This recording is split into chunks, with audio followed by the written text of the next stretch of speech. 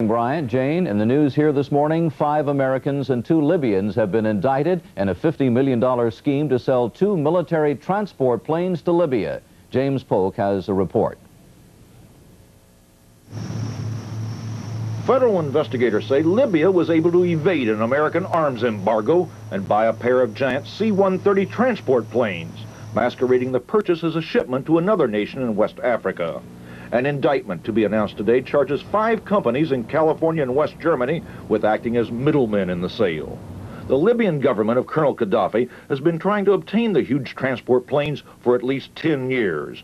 Previous sales by the Lockheed Corporation in Georgia were blocked by the U.S. government. Customs investigators began arrests last night in California. Seven people are being charged, five of them Americans, two Libyans. Officials say the chief of staff of the Libyan armed forces will be named in the indictment as a co-conspirator, although not formally charged in the case when the court papers are made public later this morning. James Polk, NBC News, New York.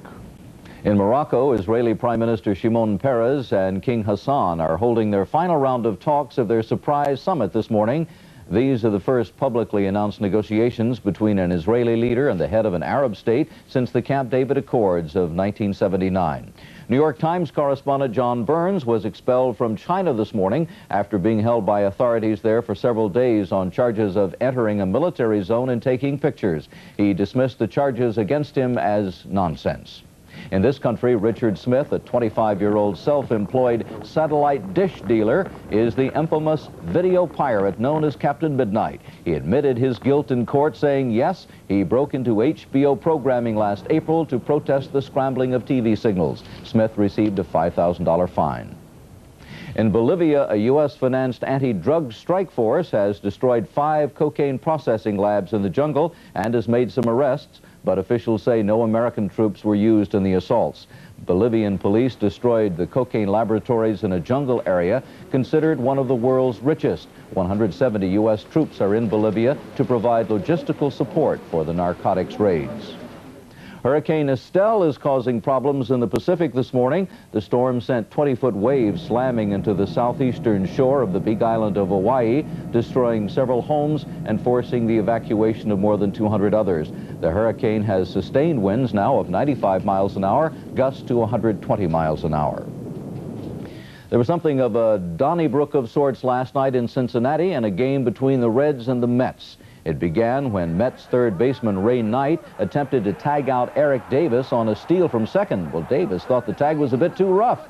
And then, as you see, one thing led to another. And here they come. Both benches ebbing as we see fights breaking out around. Knight got in a right cross on Davis. The game was delayed 15 minutes. Four players were ejected, and the final score was the Mets 6, the Reds 3. In other baseball action, the Chicago Cubs ball girl, Marla Collins, is leaving the club, much to the disappointment of her many fans. Ms. Collins appears without her uniform or anything else, for that matter, in the current issue of Playboy. She says she was pressured into leaving the job because of those revealing photographs. It's now moving up on six minutes after the hour. Let's go back to London. Bryant, see what you're missing, all this action over here? Well, John, I was about to say the Mets are getting a little sensitive, aren't they? They must lead the National League in fights. What's I their thought problem? We, I thought we'd hear that from a Cub fan. Well, yeah, hey, I only, I only see them, John. Calls them as I see them. Thank you very much. What we are